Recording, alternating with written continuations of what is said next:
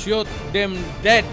Ֆիլիպիններում կարանտինը խախտողներին կարելի է գնդակահարել։ Սա նախագահի հրամանն է։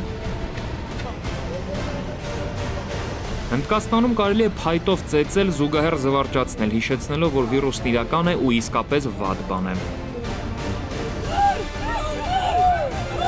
Աֆրիկայում էլ կարելի է ցեղի առաջնորդների ծեսով քշել կորոնավիրուսային անեծքը։ Աշխարհում բոլորը պայքարում են ինչպես կարող են։ Յուվալ Հարարին պնդում է համավարակից հետո մոլորակն այլևս նախկինը երբեք չի լինելու։ We have a lot of big choices to make. Մենք կայացնելու ենք բազմաթիվ կարևոր որոշումներ, դրանցից մեկը գնալ ազգայնական մեկուսացման ճանապարհով, որտեղ յուրաքանչյուր երկիր միայնակ է պայքարում սահմանափակ ռեսուրսների համար, թե միավորվել համերաշխությամբ հաղթահարելով այս ճգնաժամը։ Եվ սա ազդելու է ոչ միայն բուն ճգնաժամի, այլև առաջիկա տարիների աշխարհի վրա։ Նույն կերպ յուրաքանչյուր պետություն պետք է ընտրի հարցելուծել ավտորիտար կենտրոնաձիգ կառավարման միջոցով, ուժեղացնելով մեկ բռնապետի, թե ժողովրդավարական հակակշիռների եւ փոխզսպումների համակարգով, ուժեղացնելով քաղաքացիներին։ Նրա խոսքով վիրուսի հաղթահարման եւ հետվիրուսային աշխարհակարգի համար ճակատագրական նշանակություն է ունենալու վստահությունը, ինչը ցավոք զգալիորեն պակասել է ամբողջ աշխարհում։ This is when Հիմա այնպիսի ժամանակներ են, երբ սեփական կառավարության հանդեպ վստահությունը չափազանց կարևոր է։ Եթե դուք ապրում եք մի երկրում, որտեղ տարիներ կամ տասնամյակներ շարունակ կառավարությունը չարաշահել է մարդկանց վստահությունը, այսօր եկել է դրա համար վճարելու ժամանակը։ Մարդիկ կարող են չհավատալ կառավարություններին, նույնն էլ կարելի է ասել գլոբալ մակարդակում։ Մեզ գլոբալ վստահելի առաջնորդներ են պետք։.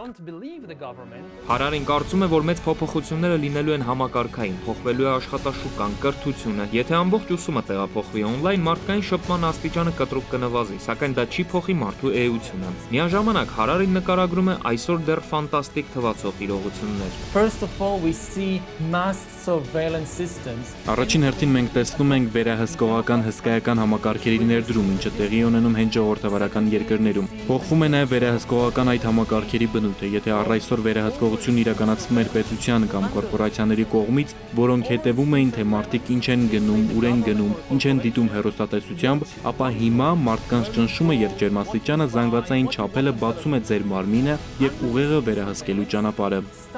Հարարին հնարավոր է համարում, որ առաջիկայում վերահսկելի դառնան մարդու զգացմունքները։ Դրանք կչափեն ճիշտ այնպես, ինչպես ջերմությունը։ Տեստով կհայտնաբերեն զգացմունքները, ինչպես հայտնաբերում են կորոնավիրուսը։ people could look back in a hundred years Մարդիկ 100 տարի հետո կարող են հետ նայել ու տեսնել, որ կորոնավիրուսի այս համավարակը հենց այն պահն էր, երբ հաստատվեց վերահսկողական նոր ռեժիմ։ Մաշկի տակ ներդրված վերահսկողական համակարգը կարող է դառնալ 21-րդ դարի ամենակարևոր իրադարձությունը։ Իշխանությունները մարդկանց մարմինը հակերային հարձակման ենթարկելու միջոցով կկարողանան կենսաբանական տվյալներ հավաքել ու քաղաքացիների մասին իմանալ ավելին, քան հենց քաղաքացիները գիտեն իրենց մասին։